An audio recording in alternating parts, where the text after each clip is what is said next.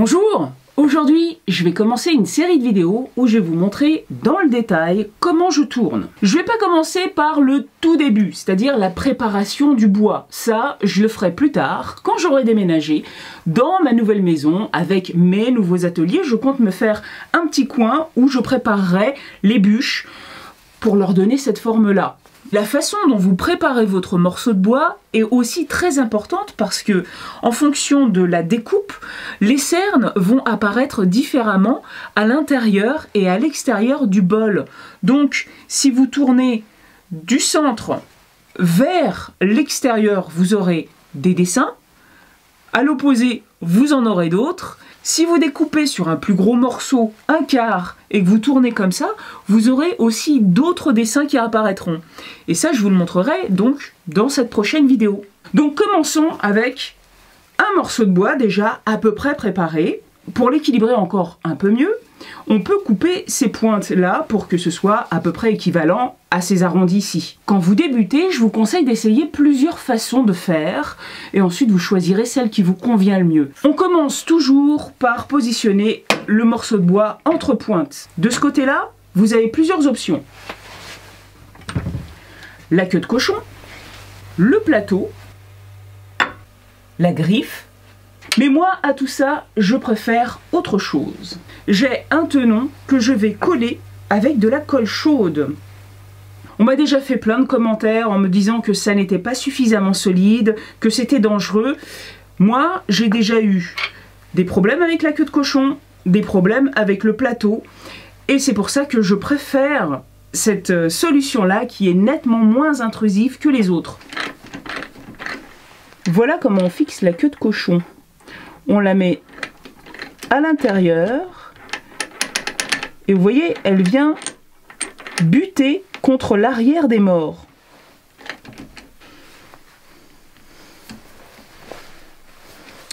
Ensuite, on fixe notre morceau de bois ici, qui va tirer la queue de cochon vers l'avant, et ce sera bien maintenu.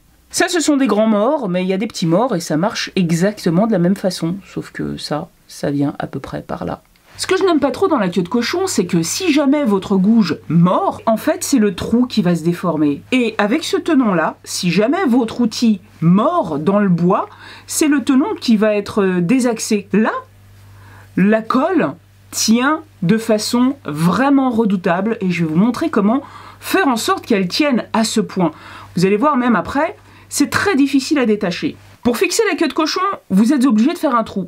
Et ça, je préfère éviter. J'aime me laisser un maximum de possibilités pour avancer au fur et à mesure dans le tournage. C'est vrai qu'on n'est jamais complètement responsable de la forme qu'on obtient. En tout cas, j'en suis vraiment pas là. Je pense qu'au bout de 10 ans, 15 ans, bien sûr, vous attaquez le morceau, vous savez ce que vous allez faire et c'est exactement ce que vous allez obtenir. Et je suis même pas sûr que ce soit à 100% vrai. On fait face à plein d'aléas et faire un trou, c'est déjà devoir composer avec cette contrainte. Par exemple, si vous faites une assiette, bah vous allez jouer avec le fond de l'assiette. Ça, j'aime carrément éviter. Mais au final, c'est parce que cette solution-là me convient pour tous les cas de figure et moi, ce que j'aime d'abord tourner, c'est des bols et des assiettes. Pour le plateau, il faut mettre des vis. Et là, vous voyez, il y a des plateaux qui sont encore plus grands. Déjà, vous rentrez dans un périmètre qui est beaucoup plus large. Donc, vous vous infligez des contraintes encore plus grandes. Sans compter le fait que vous allez peut-être mettre des vis trop courtes, qui risquent de se détacher, ou des vis trop longues, qui risquent de se casser quand vous allez dévisser. On le fixe d'abord là, bien centré. Vous pouvez faire un trait du diamètre de votre plateau, ou un petit peu plus grand. Vous détachez ça, et vous venez le visser avec le morceau de bois évidemment, mais là pour la démo je vais pas le faire. Vous le fissez comme ça, et voilà. Vous arrivez presque à la fin, et le dernier tour, vous faites comme ça. C'est largement suffisant pour bien maintenir. Et là déjà, c'est très difficile à détacher. Et comme j'ai pas le morceau de bois, vous voyez, ça tient bien. Je vais donc le fixer avec ce tenon et la colle chaude. Je vous conseille de ne pas faire un tenon trop long. Plus il sera long, plus le pivot va être efficace avec votre outil s'il accroche. Donc voilà, vaut mieux réduire. Avec la colle chaude, il y a une seule contrainte, c'est qu'il faut brancher le pistolet suffisamment tôt pour qu'elle soit bien chaude avant de l'utiliser. Et voilà, on sait qu'elle est bien chaude quand vous vous brûlez le doigt, alors faites attention, mais c'est le meilleur moyen de savoir qu'elle est suffisamment chaude, c'est de, toucher, et si vous sentez que ça brûle vraiment, bah là c'est le cas. Si vous mettez votre doigt et que c'est tiède, la colle peut être déjà assez liquide et sortir euh, du bout, et pourtant c'est pas suffisamment chaud. Faut vraiment que ce soit à la bonne température, donc suffisamment chaud, pour que ce collage soit efficace. Sinon ça va se détacher facilement. Là vous voyez j'ai fait un trait légèrement plus grand que le diamètre de mon tonneau. Comme ça je peux voir précisément s'il est bien centré. Et je vais mettre de la colle tout autour là, sur le périmètre. Vous pouvez même n'en mettre que quelques traits, 4, assez longs comme ça. Ça tiendra suffisamment. Il faut surtout pas en mettre entre les deux parce que la colle chaude ne s'écrase pas complètement. Ça va faire une distance entre les deux et donc l'adhérence sera beaucoup moins bonne et si jamais votre outil il accroche sur le bois, eh ben vous risquez en fait là de décoller. Voilà, là j'ai joué la sécurité, j'en mets partout. Et surtout, je laisse bien refroidir. Je remets mon mandrin. Pareil, je le vise jusqu'à peu près au bout. Et un mot sur le choix des morts. Là, j'ai des grands morts parce que c'était ceux qui étaient montés sur mon mandrin. Et parce que mon petit tenon est déjà monté sur un autre morceau de bois, c'est pas très grave d'avoir des grands morts sur une petite pièce. En revanche, avoir des trop petits morts par rapport à une grosse pièce, là c'est dangereux parce que la prise sera beaucoup moins bonne. Ça veut dire que ça peut lâcher prise plus facilement. Dès que vous commencez en fait à dépasser les 25 cm de diamètre, vaut mieux prendre des grands. Regardons d'un petit peu plus près la prise entre les deux. Tout d'abord, mon tenon n'a pas une épaule ici très très grande. Vous voyez là, l'épaulement est nettement plus petit que la largeur de mes morts. C'est exprès. Quand vous serrez, les morts vont rentrer dans le tenon. Ils vont écraser cette partie-là. Et le maintien se fait parce que cette partie-là touche ici. Le tenon ne doit surtout pas toucher le fond des morts. Ce petit rebord ici, il doit pas être à 90 degrés, mais légèrement vers l'intérieur. Ce qui fait que, quelle que soit la déformation là, ici, il va toujours toucher sur ce rebord-là. Si votre morceau de bois est plus large que ça et qu'en fait il dépasserait des morts, il vous suffit en fait de faire une espèce d'étage, ça tiendrait convenablement comme je l'ai décrit là, plus haut. Et ça, c'est valable pour ce tenon-là, comme pour tous les tenons que vous allez faire, même celui que vous allez faire à l'arrière. Enfin, vous pouvez faire une mortaise, mais si vous décidez de faire un tenon ici pour la prise, eh ben, euh, il faudra que, pareil, ça repose sur un petit épaulement qui soit plus court ça, là. Pour fixer votre tenon, vous le mettez à peu près en place, vous faites en sorte que vous soyez presque en train de mordre, et là, vous tournez comme ça, de part et d'autre. C'est pour vous assurer que l'adhérence est bonne, que ça glisse bien partout là. Donc maintenant, vous pouvez serrer. Et comme vous le voyez là, entre le fond des morts, qui arrive à peu près là, et le bas de mon tenon, il y a à peu près un millimètre. J'ai pas besoin de serrer à fond dans un premier temps. Je vais regarder si l'adhérence est bonne partout, que c'est bien bien collé. Quand c'est le cas, je donne un bon tour de clé sur les deux. Maintenant, je vais le mettre entre pointes. Et là, j'ai de la chance parce que ça passe en dessous. Il faut que ça, ce soit de ce côté-là pour pouvoir travailler ici. Si la pièce était plus grande et que vous coupez ces pointes-là, vous pourrez toujours vous rapprocher un peu plus près.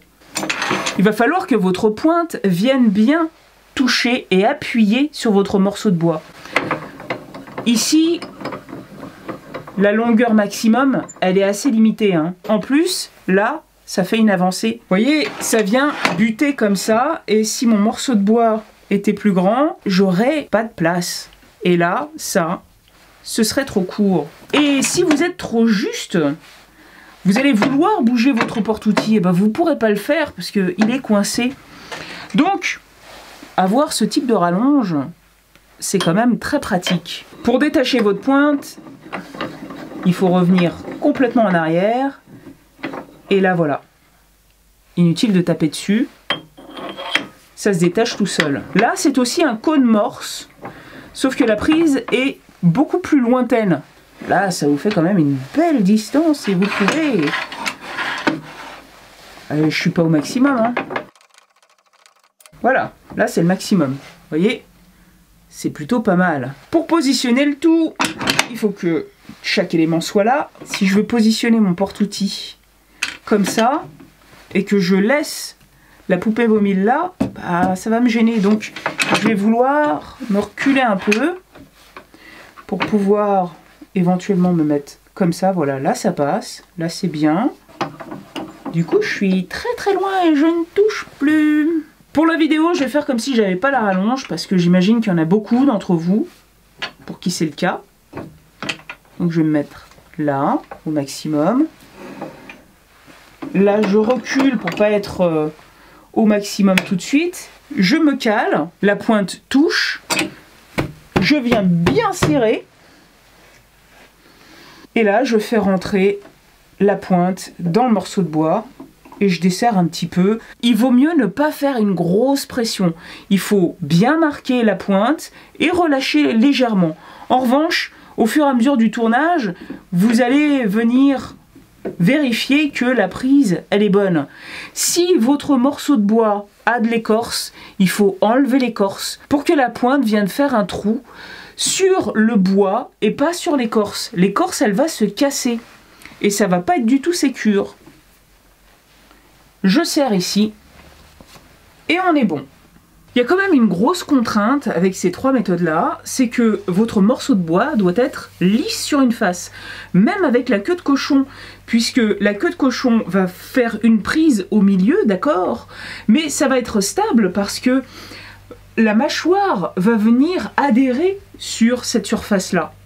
S'il n'y a que deux points d'adhérence, eh ben voilà, ça va pouvoir faire pivot facilement et la prise sera vraiment pas bonne voire dangereuse. Si vous n'avez pas une surface plane, la solution la plus adéquate, c'est la griffe. Alors moi j'en ai deux, celle-ci c'est celle qui vient avec le tour, toujours, comme le plateau, ça vient avec le tour. En revanche, le mandrin, ça s'achète séparément, et généralement, il vient avec des petits morts, donc pour avoir des morts plus grands, il faut aussi les acheter à part. Il existe des sets avec plusieurs jeux de mandrins. Je vous conseille plutôt d'acheter des marques de qualité comme One Way, et contrairement à ce qu'on peut croire, les premiers prix de One Way sont moins chers que certaines marques comme celle-ci qui est pas terrible. Regardez sur le site de Dictum, vous trouverez les premiers prix à moins de 200 euros. Mais c'est jamais moins cher que ça. Hein. Vous positionnez la griffe au milieu, à peu près, hein. à vue de nez, ça se fait assez facilement. Si vous préférez être guidé, vous pouvez utiliser ce genre d'outil en faisant plusieurs traits, même si votre morceau de bois n'est pas bien rond, hein, ça c'est clair, vous allez grossièrement visualiser le centre. En gros, vous voyez qu'ici, ça fait un triangle et votre centre, il est par là. Il ne faut jamais taper sur vos outils. Surtout pas avec un marteau en métal. Et là, comme il faut bien marquer la griffe, il faudrait taper avec un marteau en métal. Mais si vous tapez avec un marteau en métal, vous allez déformer votre outil. Alors moi, j'ai acheté ça. C'est fait exprès. Mais le problème, c'est que c'est pas du tout la même empreinte. Donc, ça, je m'en sers jamais et je tape toujours sur mon outil. Comme vous voyez, il n'est pas très déformé. Hein. Donc euh, voilà, quand on vous dit des choses, c'est bien de les entendre et ensuite vous faites ce que vous voulez. Ce qui compte là, c'est que la griffe soit bien marquée. Et si vous faites une marque autre que celle-ci, ah bah ça ça va pas bien agripper. Hein. Celle-ci, elle fonctionne un peu comme la queue de cochon. Vous ouvrez bien les morts, vous venez positionner les pointes ici sur la pointe, enfin derrière, et maintenant vous resserrez Et voilà. Remarquez que pour desserrer le mandrin, je n'utilise pas la clé à laine de serrage des morts, mais cette petite tige qui est faite pour. Parce que vous pourriez en fait tordre la clé à laine, ce serait dommage. Voilà. La griffe avec le code morse que vous recevez avec votre tour, vous la positionnez comme ça. Et pour l'enlever, c'est avec ça. Vous tapez derrière. Voyez? Il faut taper comme ça. Avec euh, la pression, elle sera vraiment coincée. Et donc, vous tapez ici, comme ça. Vous ne venez pas taper avec quelque chose dessus. C'est votre main qui tape. Comme ça. Et ça va se détacher. Je remets celle-là parce que c'est cette empreinte que j'ai faite. Maintenant, pour positionner votre morceau, vous devez venir mettre la griffe dans l'empreinte qu'elle a laissée, tenir avec votre main, rapprocher votre poupée mobile, maintenir légèrement. Bon là j'ai de la chance hein, parce que c'est assez facile, le porte-outil passe en dessous. Si c'est pas le cas, bah là vous allez fortement avoir besoin de la rallonge.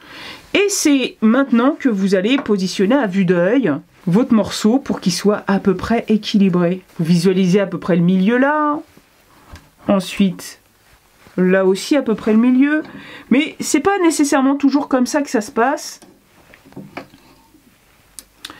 Votre morceau de bois, par exemple, si ici il y a plus d'épaisseur que là, vous pourrez avoir envie de le positionner plus comme ça. Là, c'est à vous de voir comment vous voulez le positionner. Une fois que vous avez trouvé le bon endroit où planter la pointe, vous serrez bien la poupée mobile. Et pareil, vous enfoncez la pointe. Et ensuite, vous venez serrer ici. Et voilà. C'était donc l'étape 1, le positionnement du morceau de bois sur le tour. Si vous avez des questions, n'hésitez pas à les poser sous la vidéo, j'y répondrai par écrit et éventuellement, s'il y en a beaucoup, je ferai un complément à cette première vidéo. Je le répète, c'est ma façon de faire, vous avez peut-être des façons différentes de procéder, vous pouvez également partager votre expérience sous la vidéo, faire des remarques, mais à aucun moment je ne prétends que c'est la seule et unique façon de faire. Comme toujours, si la vidéo vous a plu, likez-la et abonnez-vous. A bientôt